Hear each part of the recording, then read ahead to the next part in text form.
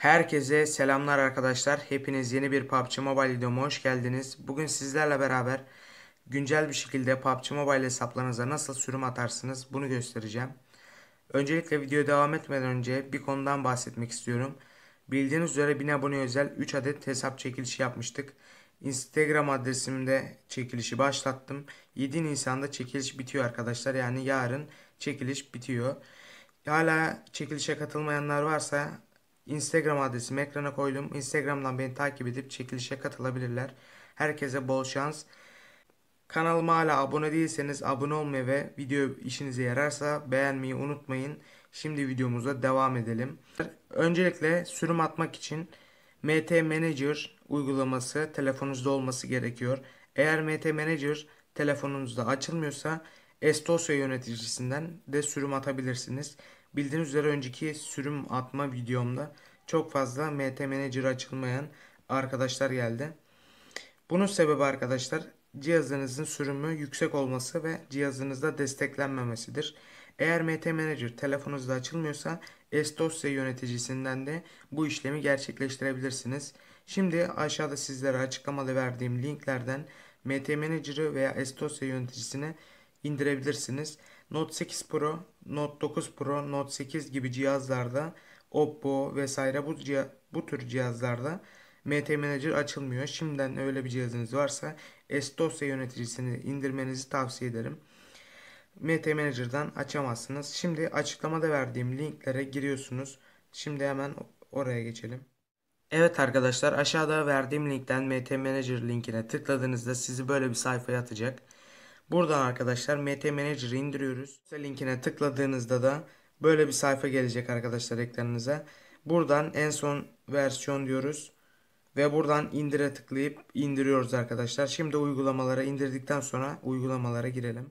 İlk önce MT Manager uygulamasını gösteriyorum arkadaşlar. Ondan sonra Estosya uygulamasını da göstereceğim. Buradan arkadaşlar ekranınıza böyle bir sayfa gelecek. Gelen izinlere kabul edebilirsiniz.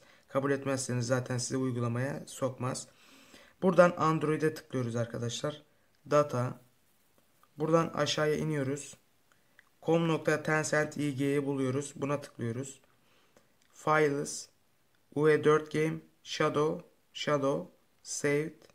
Buradan da Light Data görüyorsunuz arkadaşlar. Bunu buradan siliyoruz. Ondan sonra aşağıya doğru indiğimizde SRC versiyon ini var. Bakın kara şekilde gösterdim. Burası. Buna tıklıyoruz. Benim sürümü sürümlü olduğu için hesap 999 yaptım.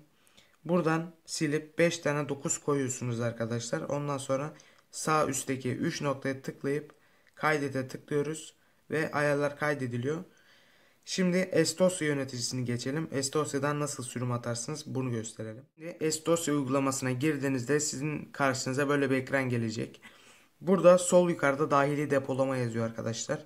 Yine aynı şekilde bunun da dosya izinlerine izin veriyoruz. Ondan sonra sol yukarıda gördüğünüz gibi dahili depolama var. Buna tıklıyoruz. Buradan Android'e tıklıyoruz. Data. Bir nevi MT Manager'da yaptıklarımızın aynısını yapıyoruz arkadaşlar. com.tencent.ig files buradan UE4 Game Shadow Shadow Save it ve buradan gördüğünüz gibi SRC versiyonu yeni geldi. Aynı şekilde arkadaşlar burada Light Data yazacak. Biz MT Manager'dan Light Data'yı sildiğimiz için şu an bende Light Data gözükmüyor. Siz de buradan Light Data'yı sileceksiniz aynı şekilde. Ondan sonra sol altta SRC versiyonu var. Bunu buradan sadece bu sefer diye Estosya'dan açın. Ve buradan sürümünüzü aynı şekilde 5 tane 9 yaparak kaydedin. 3 noktadan kaydediyoruz.